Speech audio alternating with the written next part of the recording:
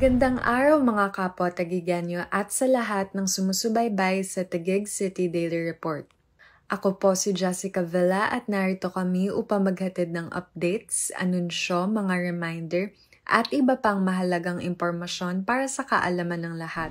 Nasa 2,689 na estudyante ang nakatanggap ng kanilang allowance sa ilalim ng programang Taguig City University City Educational Assistance Allowance o TCU-CEAA sa ikalawang araw ng pamamahagi ngayong araw, ika-isa ng Agosto. Bahagi ang TCU CEAA at iba pang scholarship program sa Transformative City Agenda ng tagig sa pamunuan ni Mayor Lani Cayetano. Posible ang libreng pag-aaral sa lahat ng mga mag-aaral sa tagig. Ang mga estudyante ng TCU mula 1st hanggang 4th year ay nakatanggap ng 15,000 pesos hanggang 20,000 pesos bilang kanilang allowance para sa dalawang semestre. Ang bawat estudyante ay regular na nakakatanggap ng 5,000 pesos ng allowance kada semester at may karagdagang 5,000 pesos na merit incentive kung mataas ang kanilang grado. Sa kanyang pagdalo, personal na ipinarating ni Mayor Lani ang kanyang buong pusong suporta sa mga mag-aaral. Binibigyan natin ng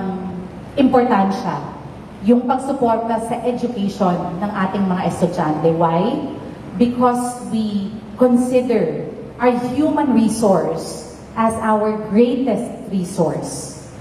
At dahil naniniwala tayo na ang yaman natin ay tayo ng mga residente ng mga taga-tagig. Hinimok din niya ang mga benepisyaryo na mas pagbutihin pa ang kanilang pag-aaral nang sa gayon ay maabot nila ang kanilang mga mithiin sa buhay. Higit sa 80,000 na Tagiganyo scholars na ang natutulungan ng iba't ibang scholarship programs sa ilalim ng administrasyon ni Mayor Lani. Patuloy na pinalalakas ang programang ito at iba pang inisyatibong makakabuti sa bawat Tagiganyo.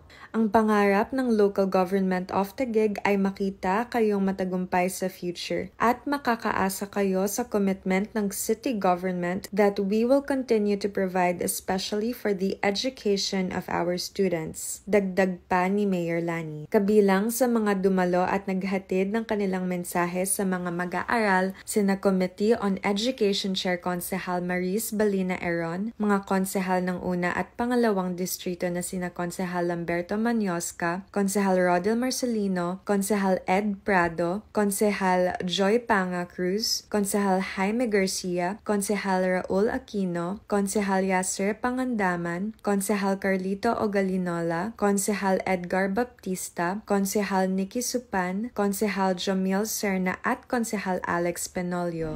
Pamahala ang lungsod ng Tigig sa pamamagitan ng Public Employment Service Office o PESO ay isinagawa ang third special program for the employment of students orientation para sa mahigit anim na raang benepisyaryo ngayong araw. Kasama ito sa ilalim ng transformative, lively at caring city agenda ni Mayor Lani Cayetano ang pangako at layunin na bigyang prioridad ang kapakanan ng mga kabataang tagigenyo. Ang SPES ay isang annual work appreciation program na humihikayat sa mga kabataan na gawing produktibong oras ang kanilang idle time katulad ng bakasyon upang magkaroon sila ng kita na makatutulong naman sa kanilang gastusin sa paaralan. Dear students, I hope no na alam ninyo kung saan yung posisyon natin. Alam I hope that you are proud that you belong to a city that is truly caring, loving, supportive of the dreams of our young individuals. Kayo naman na magmamana nito eh.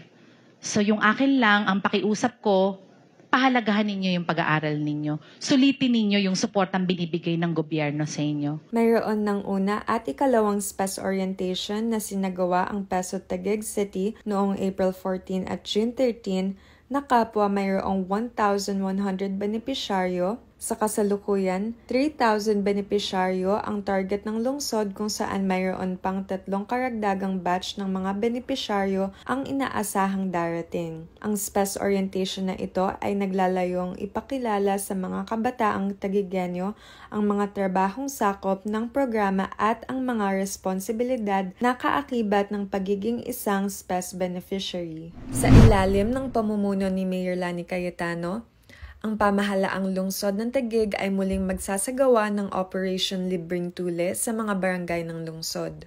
Sa tulong ng mga kawani ng Medical Assistance Office, isasagawa ng grupo ng mga doktor, nurses at iba pang medical personnel ang programa. Magbibigay rin sila ng libreng antibiotics, pain relievers at gabay para sa tamang pangangalaga matapos ang pagtutuli.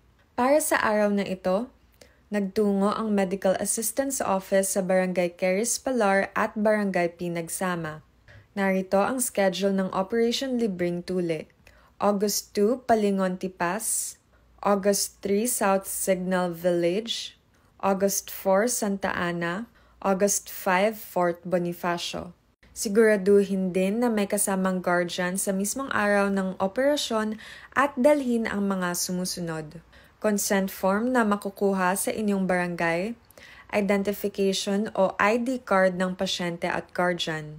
Tandaan, tanging mga residente lamang ng nakaschedule na barangay ang tatanggapin.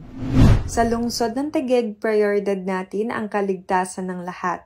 Para sa agarang aksyon sa anumang sakuna o emergencies, maaaring i-contact ang mga sumusunod na numero.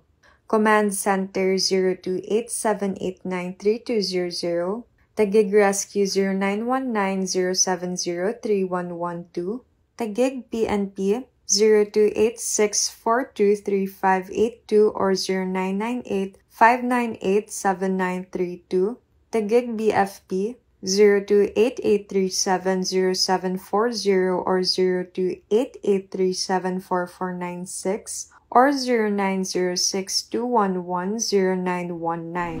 Para sa mga anunsyo at marami pang latest information mula sa pamahalaang lungsod ng Tagig, maaaring bisitahin ang mga social media platforms nito tulad ng I Love Tagig Facebook page, sa Instagram at Tagig City at sa Twitter at I Love Tagig 1. Muli, ako po si Jessica Villa at ito ang Tagig City Daily Report.